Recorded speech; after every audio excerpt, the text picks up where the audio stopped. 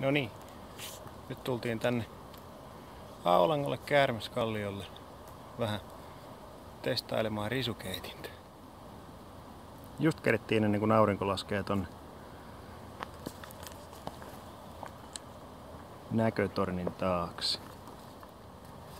Näin, eli tässä on nyt sitten, voisiko sanoa versio 1.5. Reikiä on isonnettu tuolla pohjassa ei kauhean nätin näköisiä, mutta miksi kamera ei tarkenna? No nyt, eli alaosan reijät on isommat. Jos sieltä vähän enemmän ilmaa virtaisi. Nyt tässä on tämä tuulisuoja kautta pannunpinin se yläosassa irrotettava sellainen. Ei muuta kuin testaile.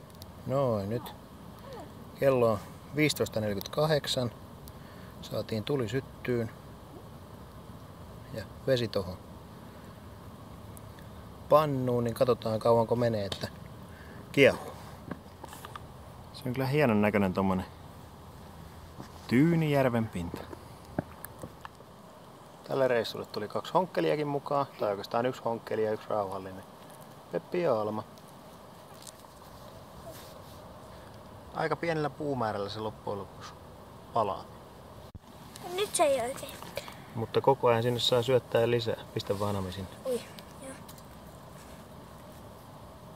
Palaa sen verran nopeasti nuo pienet puut, että koko ajan täytyy laittaa uutta polttoainetta. No niin.